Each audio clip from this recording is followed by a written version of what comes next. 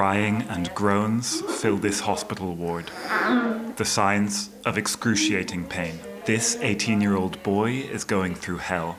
Wounded by a shell, doctors are trying to save his leg. At the moment, we have serious cases that we weren't used to seeing. It's rare to see amputees. At Ndosho Hospital in Goma, wounded civilians are pouring in.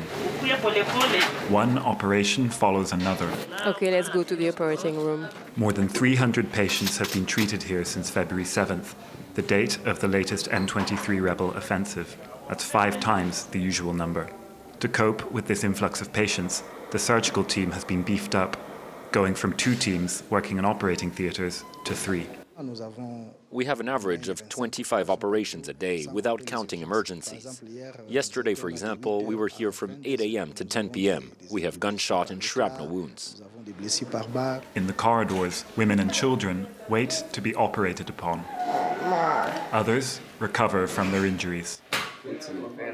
This is to realign the bone. In the room next door is Renia, who has also been displaced.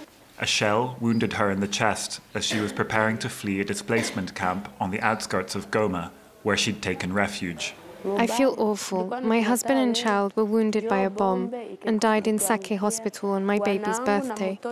I was almost dead when they brought me here, but they operated me. We fled because we were afraid of dying, but even when we took refuge, death found us.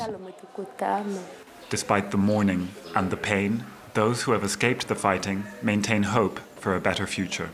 Yet they share a common feeling that of being trapped in the cycle of conflict that has plagued eastern Congo for the better part of 30 years.